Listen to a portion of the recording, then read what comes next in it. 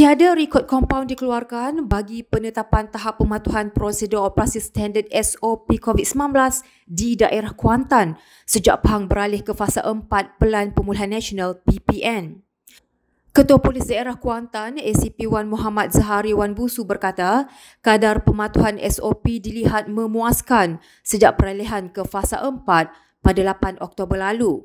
Sekatan Jalan Raya SCR secara tetap juga telah ditutup namun pemantauan SOP masih diteruskan.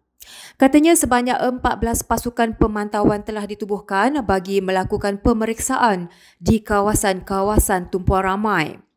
Beliau berkata demikian kepada pemberita selepas melakukan tinjauan dalam operasi bersepadu pematuhan SOP PPN Fasa 4 di kawasan rehat dan rawat RNR Lebuh Raya Pantai Timur di Kuantan hari ini.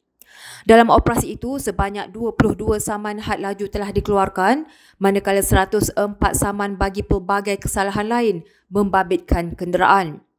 Dalam pada itu, SCP Wan Muhammad Zahari berkata, berlaku peningkatan sebanyak 50% aliran trafik yang memasuki ke daerah Kuantan sejak kebenaran rentas negeri diumumkan pada 11 Oktober lalu.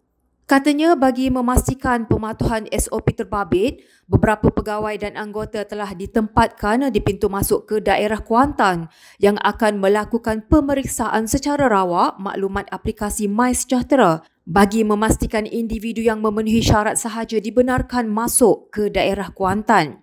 Beliau berkata sekiranya terdapat pemandu atau penumpang yang belum lengkap divaksin, mereka akan diarahkan untuk berpatah balik.